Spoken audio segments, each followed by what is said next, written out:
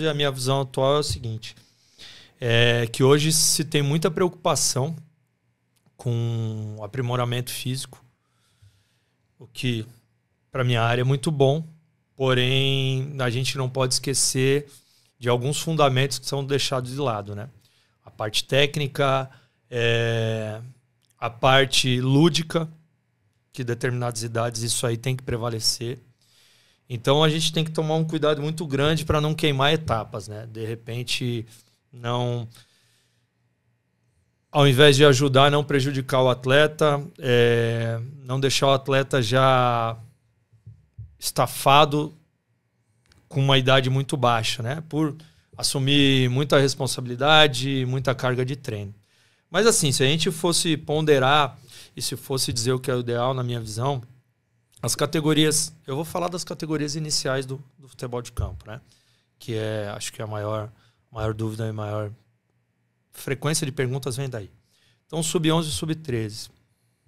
É, eu acho que essa preocupação física, ela não, ela não tem que ser algo tão preocupante. Eu acho que explorar a parte técnica, os fundamentos, é, a parte da ludicidade. Óbvio que as competições elas estão cada vez sendo mais precoces, mas eu ainda eu acho que o aprimoramento técnico ele vem à frente.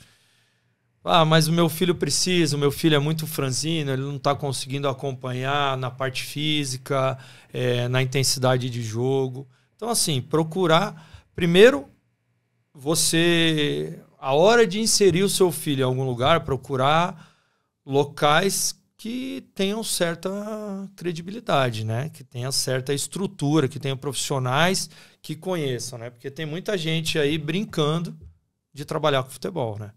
Então, a gente procurar aí algumas agremiações, algumas é, associações que, que nos deu suporte mínimo para isso, né? Então, desde que você encontre profissionais aí gabaritados para trabalhar com seu filho, é uma preocupação a menos.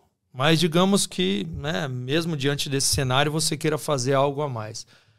Essas idades, sub-13, sub-11, alguns trabalhinhos assim como pré-treino, não sessões isoladas físicas, né? Mas alguns, algumas é, inserções de alguns conteúdos usando o próprio peso corporal, né? Para desenvolver um pouquinho aí da, dessa parte muscular, é, alguns trabalhinhos de coordenação que vem, eu já falei isso da outra vez que eu vim aqui, vem sendo deixado de lado.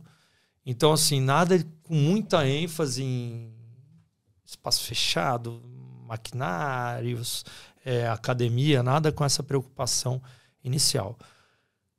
Em relação ao número de sessões de treino, a gente sabe que nessas categorias aí, é, a maioria dos clubes trabalham de duas a três vezes por semana.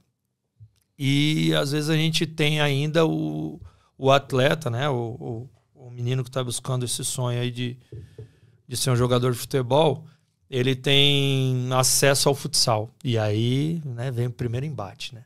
Futebol de campo e futsal.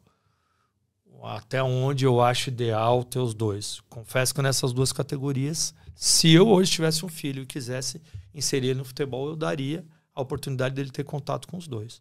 Porque o futsal é, por ser muito mais dinâmico, o meu filho teria muito mais condições de participar do jogo.